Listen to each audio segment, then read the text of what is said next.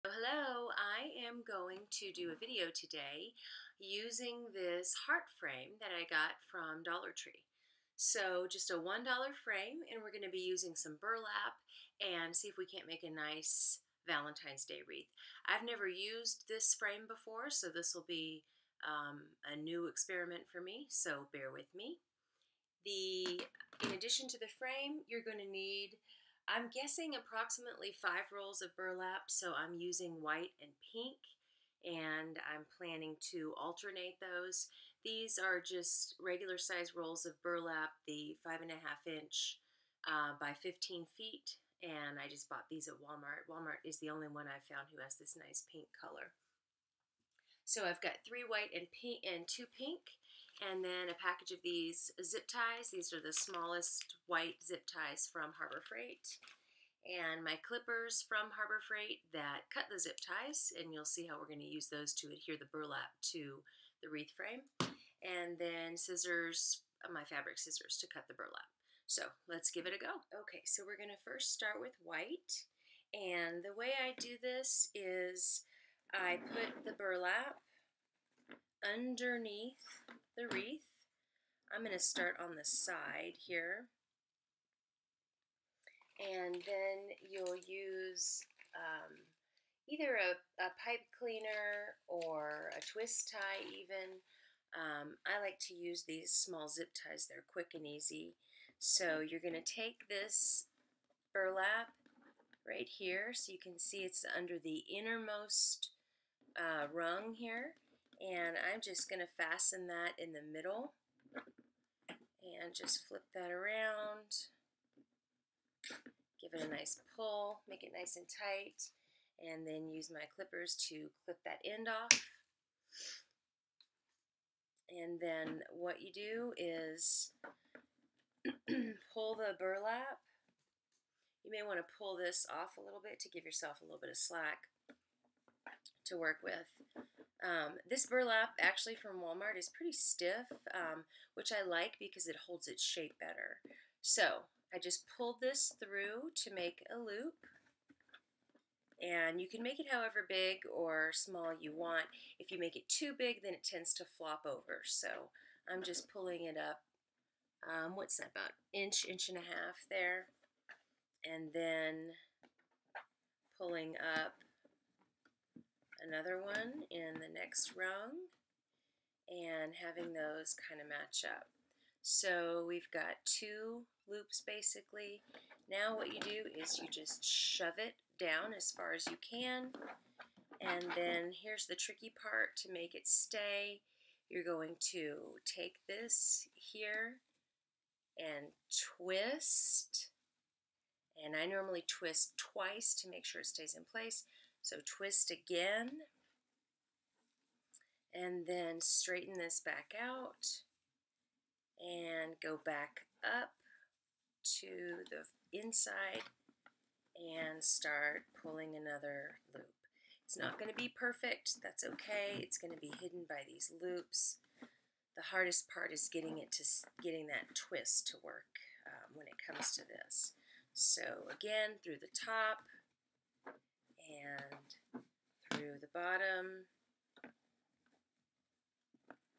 And I've got a little too much, so I'm going to pull this one and then use that to pull the first one down.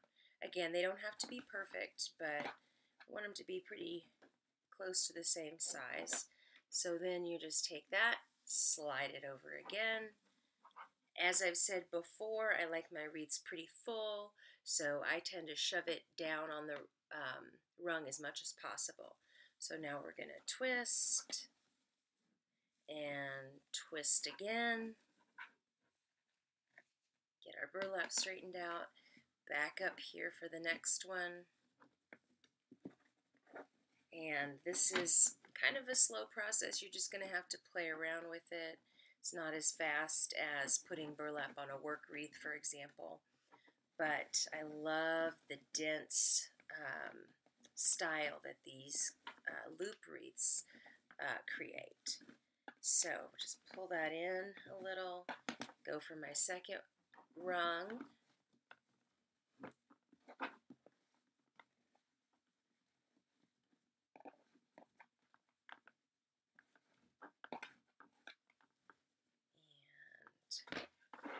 slide it down and twist twist again. So these little wreath frames end up using quite a bit of burlap. It may seem like a lot to pull out five rolls of burlap for something this tiny, um, but because of the sliding that you do to make it really thick, you end up using quite a bit of burlap. That was a surprise to me the first time that I did one of these. But I love the style, so get your burlap on sale, get a good deal, and these are totally worth it. All right, I'm going to slide that again. It's still not as full as I want it to be in terms of filling up this portion. So we're going to twist and twist again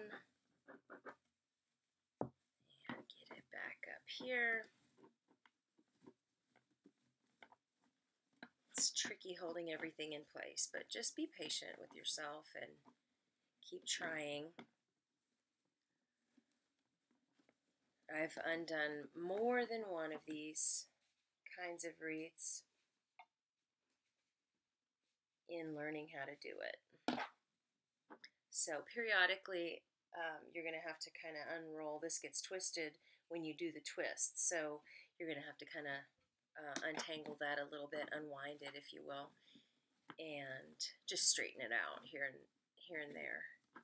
Okay, so here's my next one. Got those pretty well matched up. So now I'm going to take a look and see what I think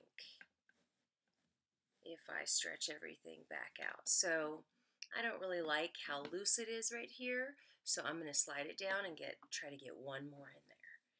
It gets to be pretty tight, but the good news is that holds it in pretty tight once it's done. So we're going to twist, twist again, back up to the top.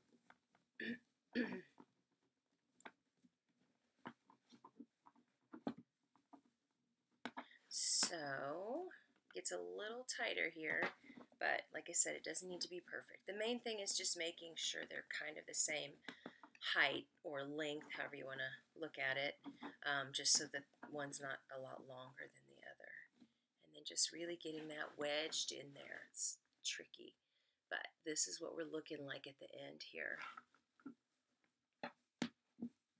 So just pull that back a little bit. All right, so let's try that again. See where we're at.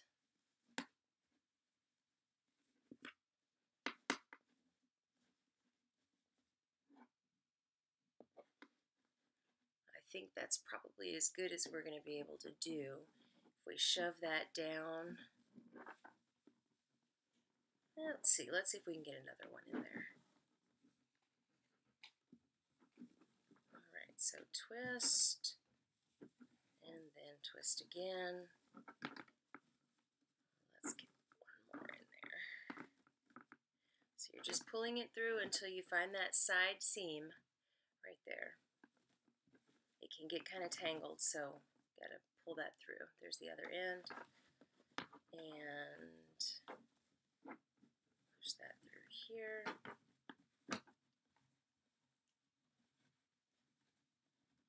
Dig that end out a little.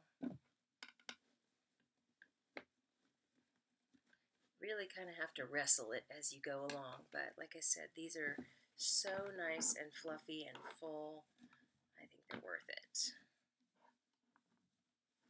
Okay, so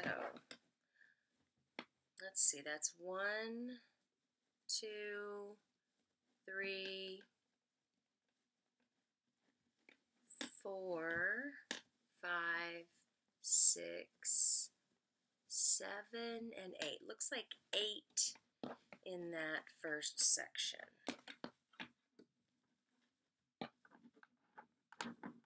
Okay, so now we're going to flip this over. We're on the back side now and take another one of our little zip ties here and you're just going to come from underneath and just going to adhere that burlap. So I'm just looping it around back through. So I'm back on the back here. My twist tie is backwards, so let's rotate that. And then get that on there nice and tight. Cinch it up.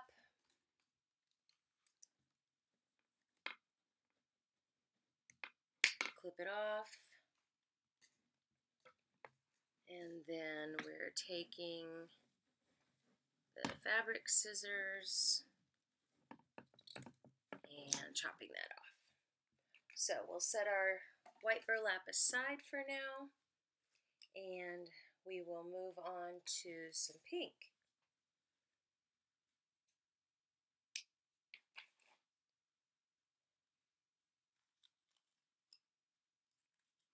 I like to use these um, little ties, actually, the um, twine or jute, I'm not sure, um, but they go around the burlap to hold it together.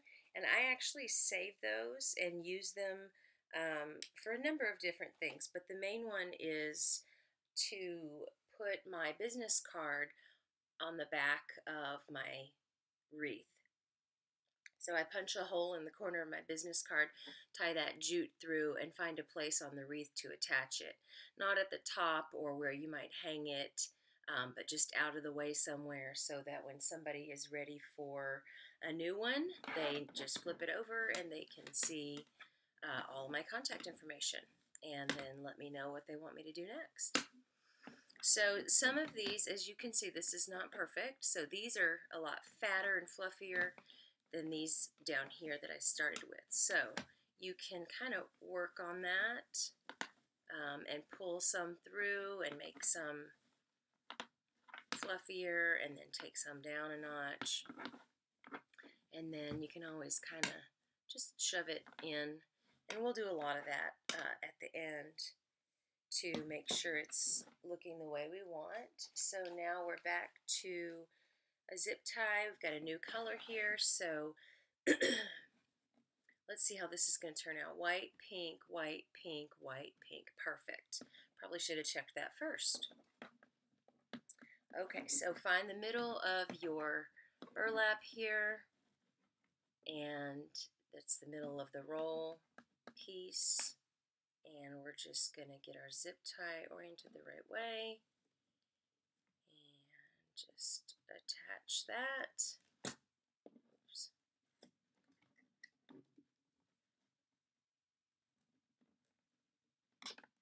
Alright, give it a nice pull.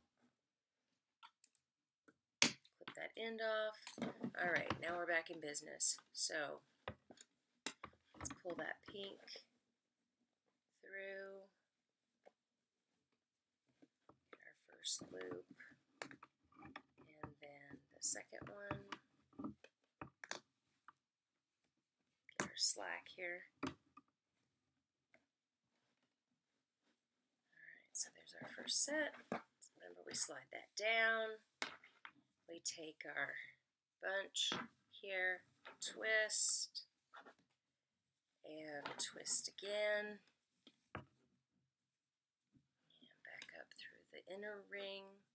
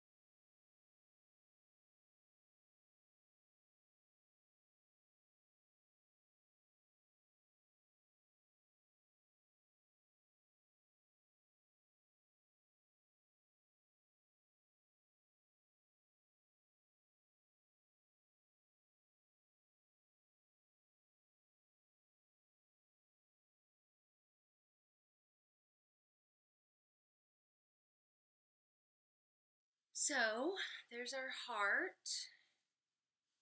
And let's see about getting a bow on it maybe. This is uh, part of the, it's a ribbon from the Robert Stanley collection. This is a Hobby Lobby ribbon. Um, $7 a roll. Of course, you always wait until ribbon goes on half off every other week and buy it that way. And if not, there's always a 40% off coupon on hobbylobby.com or on the app if you use that.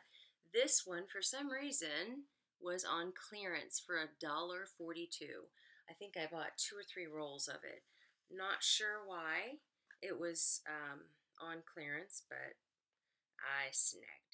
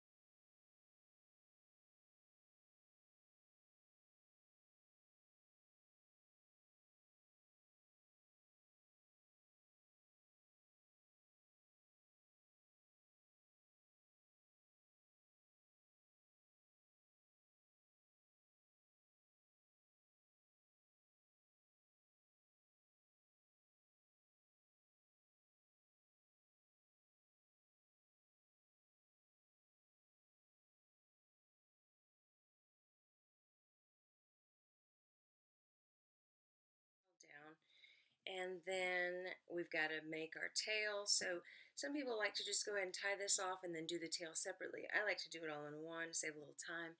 So we're back, we're at the end here. We're going to twist again just like we were going to make another loop, only we're going to pull some out and make a bigger loop. So this is the tail. These will be the tails. And we're just turning this into a round. You can see the bows at the top just looping this around and just have to decide how big I want the tails to be.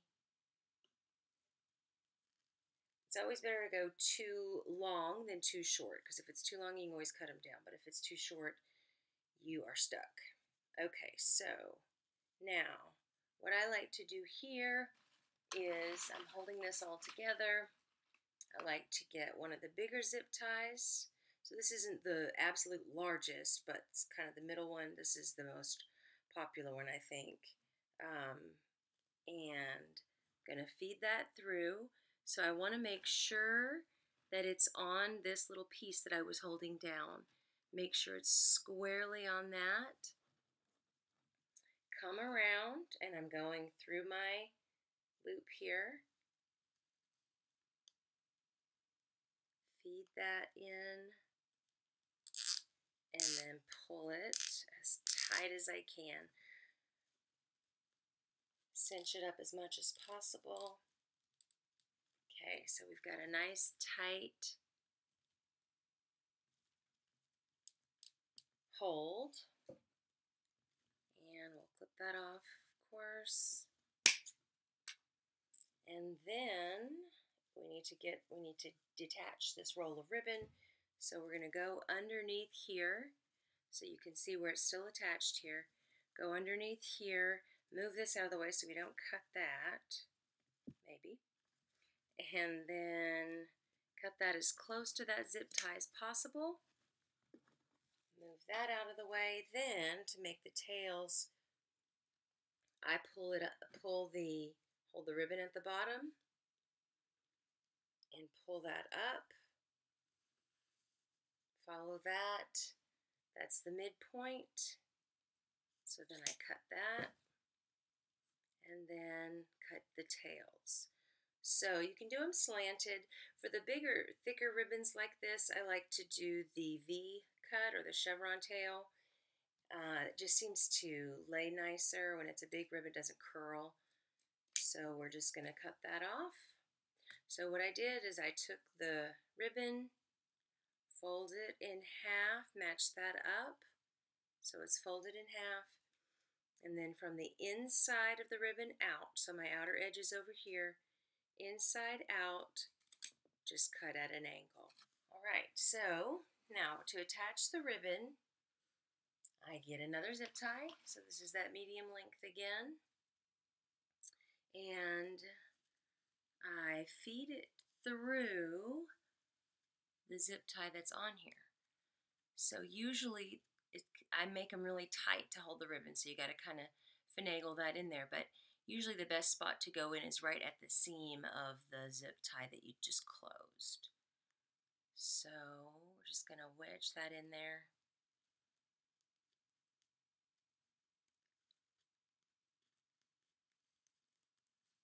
Oops, we don't want to stab that. Okay, so you've got that just midway through. And then okay, so I just ran the zip tie through the burlap there.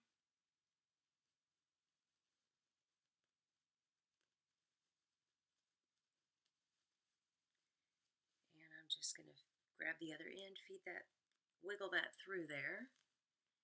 And before I tie it off, let's just make sure we are reasonably happy here with the way this is going to look before we lock that into place. So I think that's going to be cute. Let's give it a go.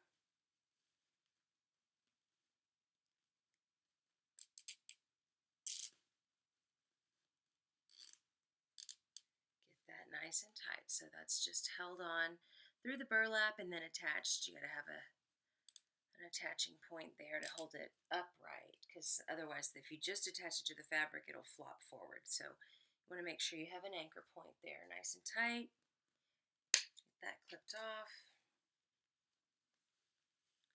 And now it's just a matter of staging it. So we want to pull our ribbons down, our tails, ribbon tails down, get those laying the way we want.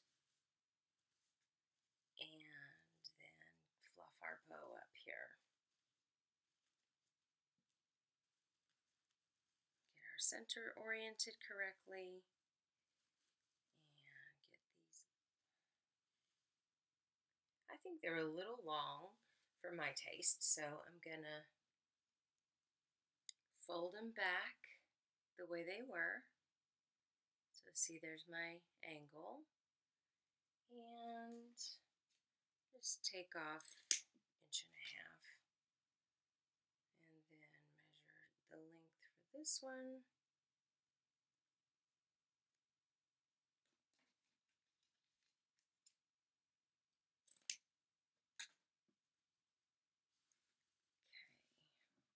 So just cut those ends off a little bit. There we go. Looks better.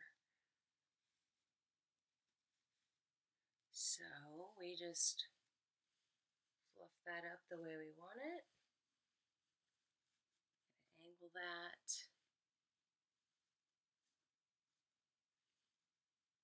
And there we go. There is our finished product. Let's get a better view here. So, got to turn it this way. And we'll just fluff this white out a little bit here. And over here. The pink is a little softer than the white. The white is stiffer, so it's not fluffing as much as nicely. So be mindful of that. You may have to make your loops a little longer when you're using the white, at least in this particular brand.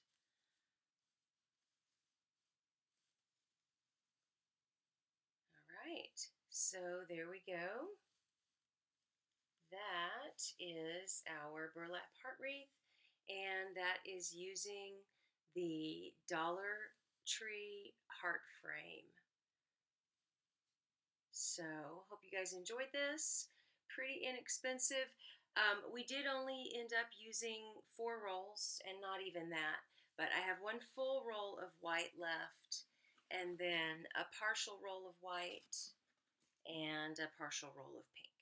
So, didn't even use four whole rolls. And those that burlap is about 350 uh, each roll at Walmart. So we've got that, and then the dollar frame, and then this ribbon. Um, usually I charge a couple bucks for my bows, you know, at this size, maybe three, four dollars, and then as they get bigger, uh, charge more for that. So we've got um, a nice wreath here for under 20 bucks. Hope you guys enjoyed this. Be sure to subscribe and make sure you stay up to date on all the posts of all the crafts that we'll be doing. And let me know if there's something you'd like to see, or if you have a question, just shoot that to me in the comments. Thanks for watching.